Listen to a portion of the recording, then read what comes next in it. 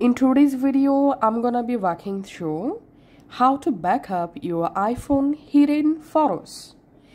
Your hidden album in photos is private and you can uh, also backup your all hidden photos to your iCloud and I'll show you how to do that.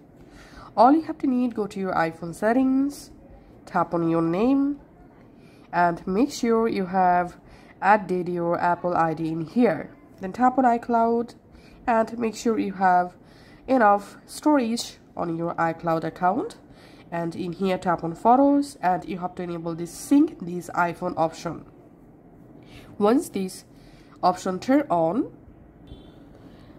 iCloud automatically uploads everything in your Photos app, including the hidden and recently deleted albums. And note one thing that Hidden photos aren't excluded. They're just placed in a private album in your iCloud. And they'll appear in iCloud but only visible after Face ID and Touch ID unlock. So that's how you can actually go ahead and easily back up your all hidden albums photos.